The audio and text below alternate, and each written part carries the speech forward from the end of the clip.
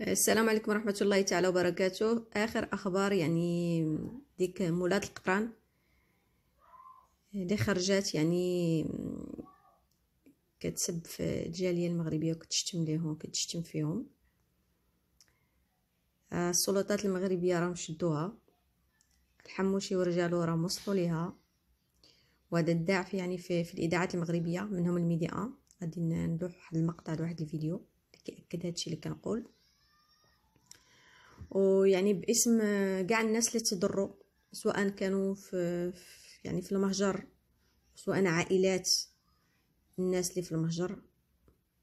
باسم كاع الناس يعني اللي اللي تضامنوا وكانوا ضد هاد هاد النوع من البشر وساهموا في وصول الصوت المظلوم إلى السلطة المغربية. كنوجه لهم واحد الشكر كبير. وكنقول واحد الكلمة لمولات القطران. ما تنسايش دي معك القطران. راه الجربة. هي كشه الحبس اللي كتسنايك دابا. تبارك الله عليكم كاملين ونهاركم مبروك.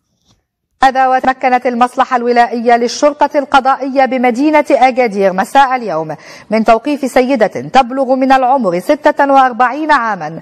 وذلك للاشتباه في تورطها في تسجيل وبث مقطع فيديو عبر شبكات التواصل الاجتماعي يتضمن تحقيرا وقذفا في حق أفراد الجالية المغربية المقيمة بالخارج.